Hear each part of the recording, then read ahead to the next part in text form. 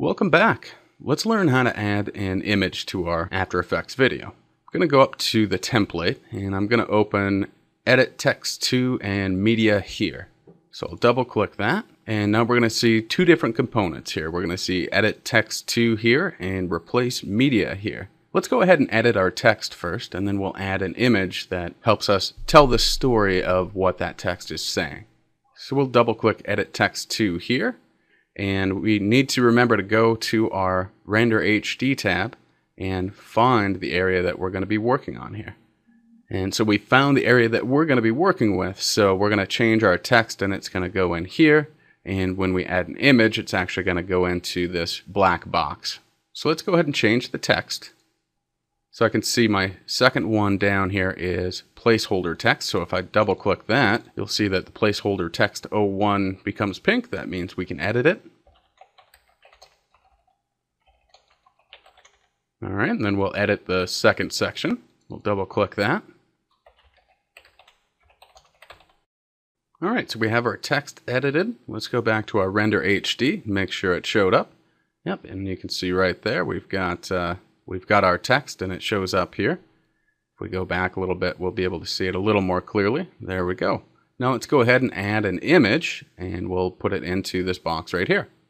So I'm going to close out of edit text to here and I'm going to go up to replace media here. This is where we're going to add our image, but you actually don't want to double click it at this point. What you want to do is first add your image, and you can do that one of two ways. If you're using a Windows operating system, you can just click Control I on your keyboard, and that will do the same thing as if you go up to the File menu, go down to Import, and then Import File. I'm going to find the file that I want. Here we go, game development. So I'll double click that.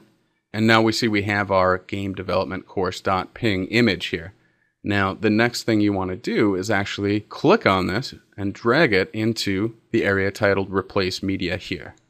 Now, as you see, our Replace Media Here tab automatically opened, and what we have is our image inside of this box. Now all we have to do is resize and move the image to exactly where we want it and you're going to see some handles down here in the corners and up top, and that's just going to be used to drag and resize this image. Now what's going to happen a lot of the time is the cursor, if you can see it, is actually set to the text tool.